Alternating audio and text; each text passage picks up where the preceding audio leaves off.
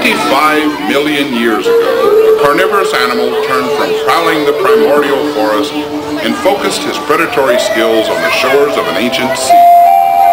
This new hunting ground offered quarry that was no match for the voracious hunter's powerful jaws and ripping teeth. He and his offspring flourished. Eons passed, and this life form began to change. A new animal slowly emerged from the original mold. Across countless generations, one species followed another, each better suited for the challenges of an aquatic environment, each more perfectly adapted to life in the water. And today, that denizen of the seas is... That denizen of the seas is our harbor seal, Bernie who is a member of the True Seal family and unfortunately will not be joining us this morning. Just like humans, sea lions and seals have days where they don't feel as up to doing stuff and so today we're going to move on to the main portion of our show. Are you guys excited to see some sea lions? Good to hear. How are you all doing this morning? Great! Well, welcome to the Aqua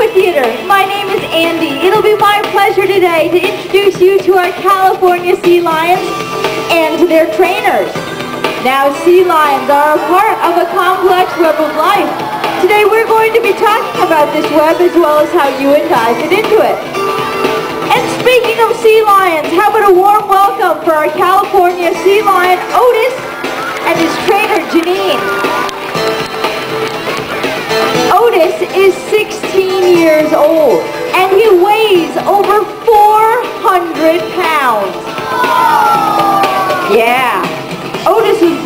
Aquarium, but his wild relatives can be found living up and down the Pacific coast. Now sea lions are very social animals and can be found living in large groups called rookeries. Now rookeries can be pretty noisy places.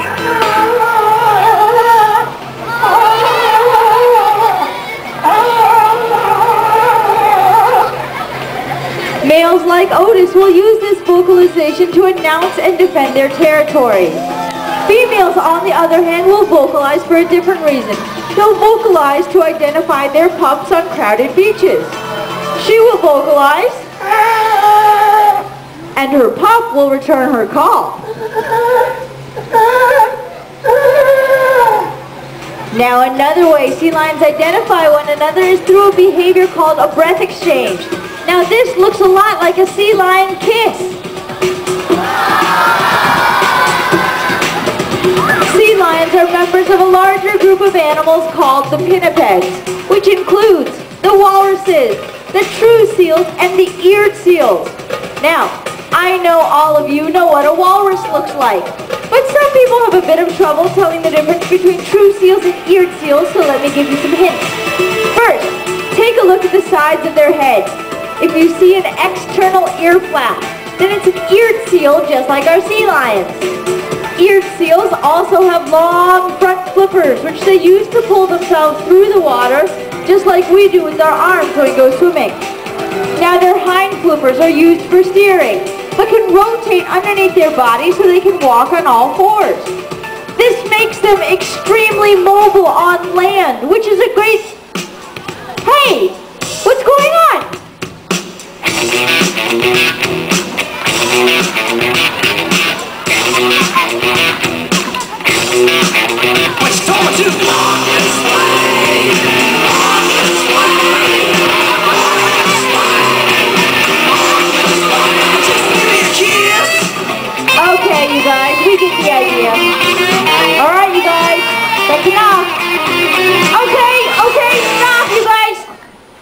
you.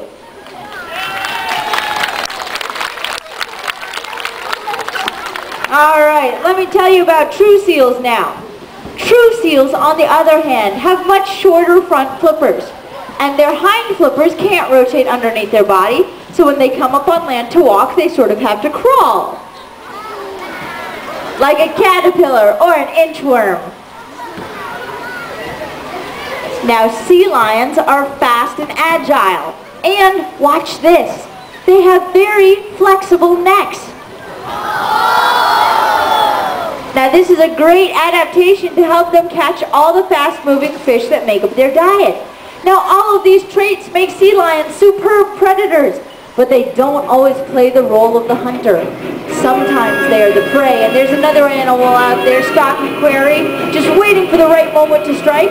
The sea lion's primary predator is the great white shark!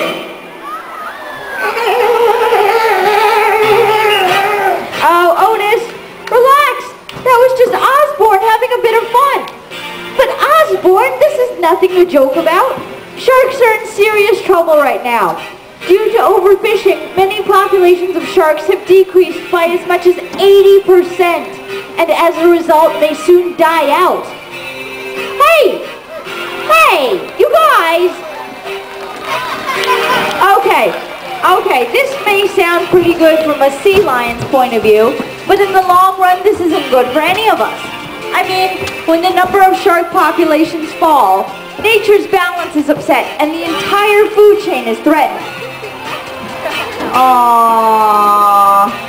So you see, strange as it sounds, we need sharks. In fact, all species rely on one another in order to survive. In the wild, sea lions spend a large portion of their time avoiding predators and chasing prey. They use a method of swimming called porpoising, where they leap out of the water, take a deep breath, dive back in, and continue on with their forward momentum.